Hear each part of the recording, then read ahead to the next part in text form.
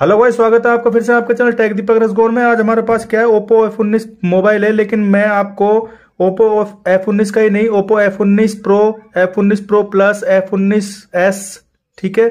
और ओप्पो का जो भी एफ़ सत्रह एफ़ सत्रह प्रो जितने भी मतलब ये एफ़ इक्कीस ऐसे मॉडल कुछ आते हैं तो इनमें क्या आगे फिंगर आता है तो फिंगर में काफ़ी प्रॉब्लम आती है। जैसे फिंगर नोट रिकॉग्नाइज की प्रॉब्लम आती है फिंगर अपना हार्ड वर्क करता है या फिंगर बिल्कुल भी वर्क नहीं करता है या फिंगर अपना इसमें ऐड तो हो जाता है, लेकिन जब हम इसको ओपन करते हैं तो ये अपना खुलता नहीं है, ठीक है? यहाँ से खुलता नहीं है। ऐसी प्रॉब्लम भी आ जाती है। बाकी जो टच ग्लास अपना मतलब ज़्यादा ब्रोकन हो गया है तो उसका भी सोल्यूशन मैं आपको बताऊँगा।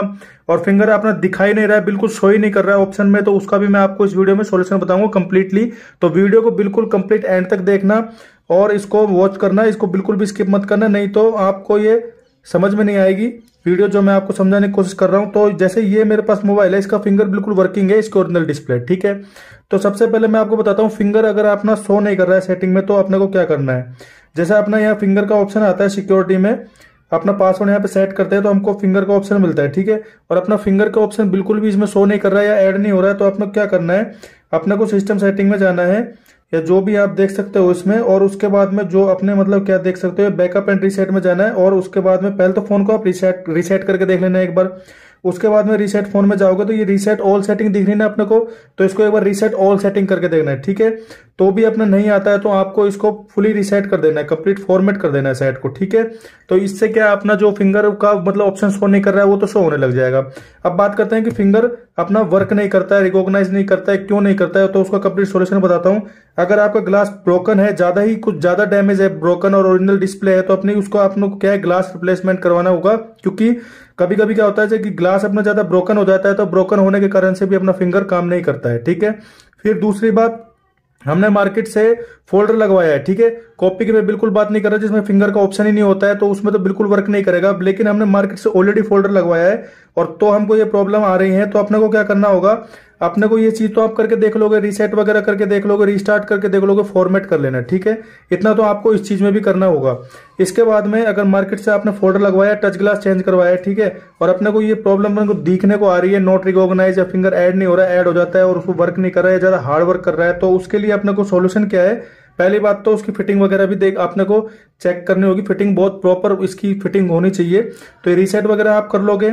इसके बाद में कै, इसका कैलिब्रेशन करना होता है। फिंगर का कैलिब्रेशन करना होता है करना होता है। तो फिंगर कैलिब्रेशन के ऊपर मैंने एक वीडियो बना रखी है। मैं आपको डिस्क्रिप्शन को वीडियो वो लिंक दूँगा तो आप उसको देख लेना ठीक है? उसके बाद भी अगर अपना फिंगर वर्क नहीं करता है तो क्या होता है कि जो डिस्प्ले होती है डिस्प्ले की फिटिंग में कहीं ना कहीं प्रॉब्लम होती है। तो हमें उसे दोबारा फिटेड करना होता है ठीक है? अच्छे तरीके से फिटिंग करना होता है। और अगर डिस्प्ले भी अपनी ओके है फिट है फ्रेम वगैरह में किसी प्रकार कोई बैंड नहीं है तो उसका सोल्यूशन मैं आपको लास्ट एंड फाइनल बता देता हूँ कि अपना क्या होता है। वैसे तो मैंने इस सेट को ओपन कर ही रखा है तो आप भी सेट को ओपन कर ही लोगे, लेकिन मैं आपको इसका सोल्यूशन जब भी बता देता हूँ कि हमें इसमें एक्चुअल में करना क्या होता है, ठीक है? तो हम इसको थोड़ा सा हटा लेते हैं बैक पैनल को, ये थोड़ा सा इसमें चिपक गया है। तो ये कंप्लीट सॉल्यूशन में, अब लास्ट में आपको सॉल्यूशन बता रहा हूँ कि हमें करना क्या है, ठीक है? फिंगर कैलिब्रेशन कर लिया, हमने फॉर्मेट कर लिया रीसेट कर लिया, ये सब चीज़ें हम कर लेंगे।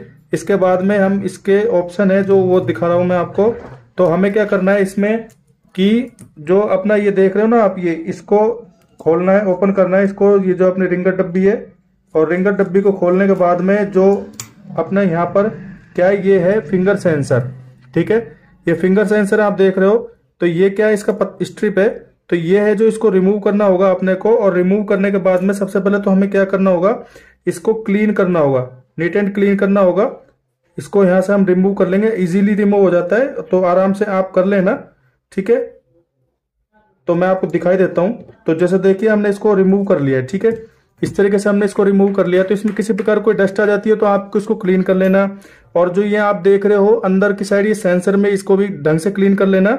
और इसको प्रॉपर फिट करना है अपने को और फिर अपने को वर्किंग करके देखना है कि अपना फिंगर वर्क कर रहा है कि नहीं कर रहा है, ठीक है?